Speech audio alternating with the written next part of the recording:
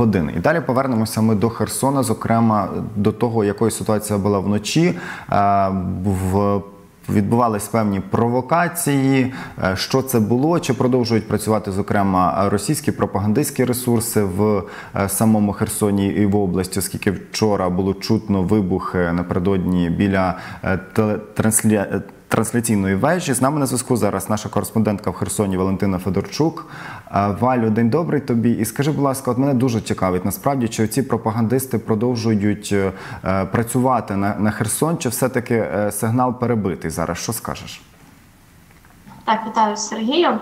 Ну е, дійсно були е, неполадки з телевежею, але зараз я про це розповім детальніше. Е, вночі е, ми всі там близько опівночі просто здригнувся весь Херсон від вибухів, тому що вибухи були дуже сильними. І як порівнювали люди навіть у коментарях, вони були такої гучності, як було в перші дні, коли ракета втрапила в жилий будинок.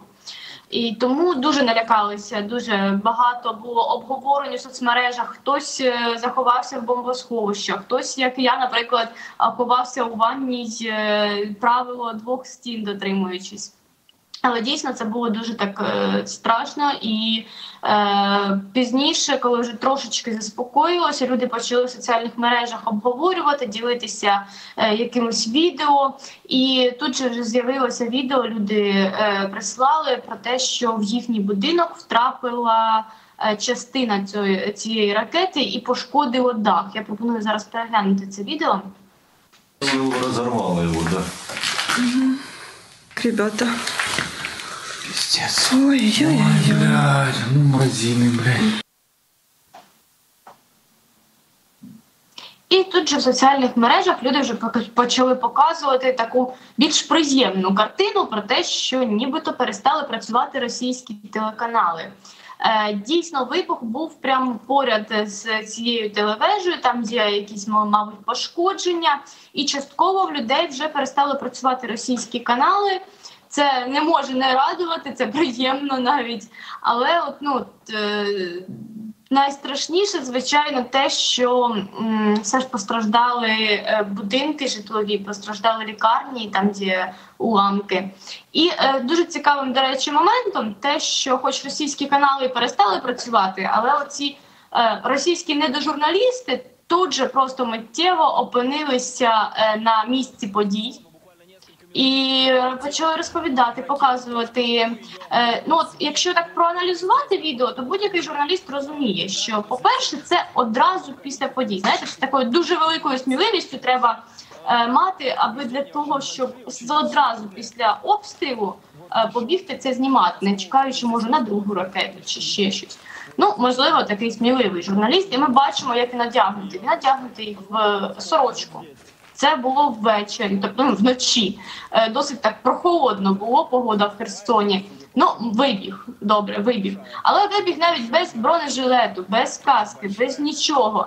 Просто ходить, знімає, і тут же на перших хвилинах він вже навіть зміг таким професійним поглядом зрозуміти, що то була за ракета, там яка дальність польоту і тому інше. Тобто, ну це все дуже дуже схоже на пропаганду і на підставні якісь відео. Тим паче, що люди в Телеграм, коли переглядали це відео, вони помітили, що а, воно було підготовлене до публікації о 21.15 приблизно. Там в нас є, здається, скрін. Я прошу, якщо її показати його. Е, Валю, Валю, мабуть, не маємо цього скріна, трошки пізніше покажемо. Е, якщо пошукати в соціальних мережах, е, він є, і там видно, що відео було підготовлене. Ви знаєте, телеграм показує так дату, коли відео було записано підготовлене. Тобто це було 21.15. Ну, це досить дивно, що така дата час публікації, і цілком ймовірно, що навіть оці відео цих недожурналістів були записані напередодні, якось може. Ну, факти кажуть самі за себе. Е, на жаль, дійсно по місту є ушкодження. Це і вибиті шибки, і є навіть вибиті шибки у лікарнях. Там дуже налякані зараз люди. Е, місто зараз центр, просто весь такий в уламках, е, в склі, і люди дійсно ну налякані цією ситуацією. Тому так залишається зараз в місті ситуація. Вони поки що на вулицях, але знаємо, віримо, чекаємо на наших ЗСУ, тому що ну е, ми навіть на протестах скільки спілкувалися з людьми, що всі вірять, всі ждуть, що недовго їм залишається тут бути.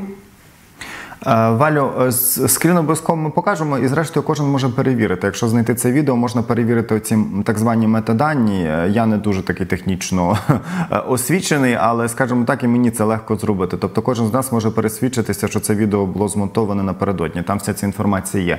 Валю, слухай, ми тут всі на вухах зараз від такого собі народного обранця Ковальова, який поїхав до вас на тимчасово окуповану Херсонщину, каже, з окупантами не співпрацює, там якусь гуманітарку роздає.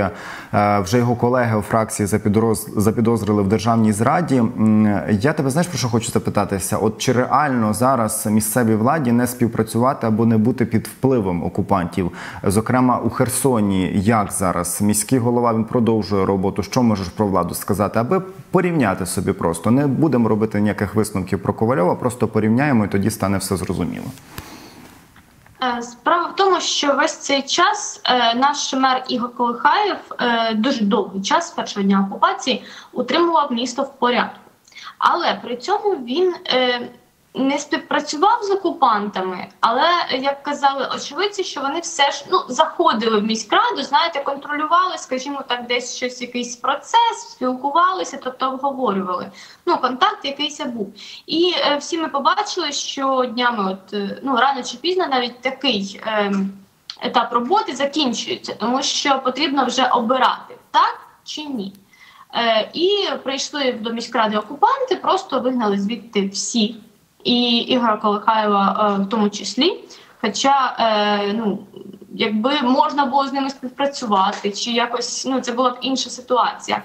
По області говорять про те, що е, приходять до голів ОТГ, до мерів міст, е, пропонують їм або співпраця, або ти е, йдеш до підвалу, ну образно кажучи.